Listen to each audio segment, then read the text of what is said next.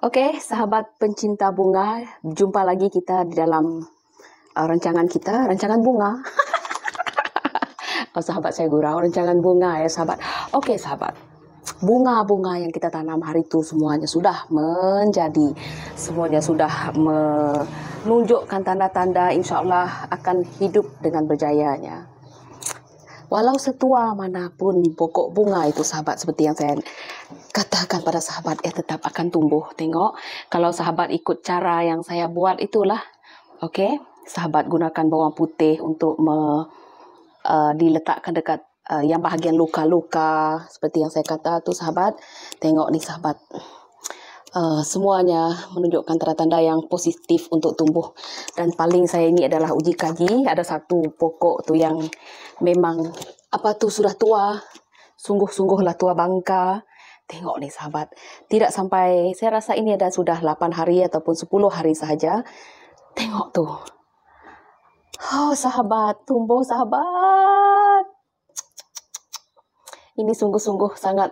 Tengok tu sahabat, macam mana saya nak percaya kepada kepada benih ini tengok tu dengan luka lamanya tu tergores di situ sahabat.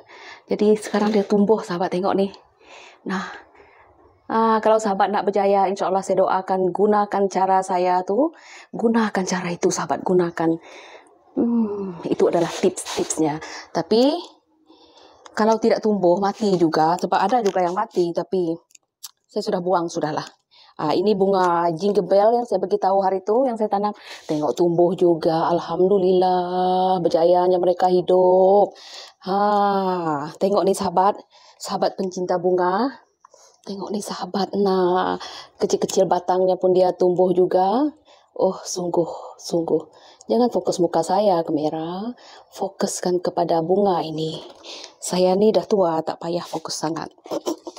Okey, ini dia itu hari uh, apa ni apa nama bunga ini? Saya pun tidak tahu. Ini baru dalam empat hari ke macam tu. Tengok tu dah ada anak-anak baru yang tumbuh tu. Ini kalau sahabat dapat tengok bahagian ni. Ah ini dia ini dia ini ni. Ah baru empat empat hari lima hari lah. Saya lupa hari tu bila saya upload video tentang ini. Nah, aku sahabat tengok ni. Nah.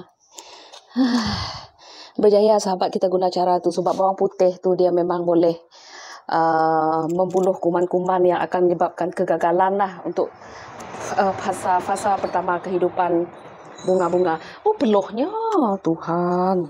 Ah, tengok yang ni. Ini tu hari. Tapi ini macam ada terganggu sikit yang saya bangga-banggakan hari tu.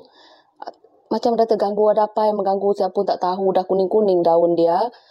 Hmm, tapi yang sebelah ni tak. Yang ni mungkin ni kena serangan kulat ke apa. Saya pun tidak pasti. Tapi ada macam spider web. Tengok.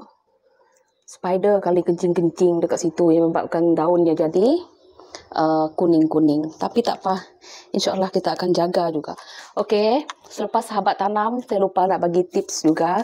Sahabat perlu siram dengan air dua, kal dua hari sekali. Dua hari sekali siram dengan air sahabat.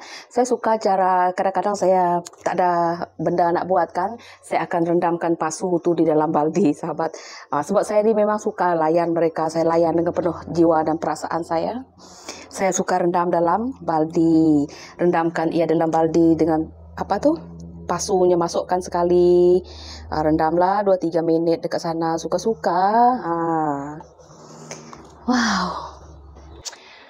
Uh, selepas ini, kalau sahabat gunakan tips-tips yang cara saya tanam pokok tu, saya harap semoga semua sahabat-sahabat saya berjaya. InsyaAllah berjaya menumbuhkan bunga. Uh, tengok ni. Menumbuhkan bunga-bunga sahabat uh, bagi pencinta bunga-bunga. Okey sahabat, sampai kita jumpa lagi. Bye-bye.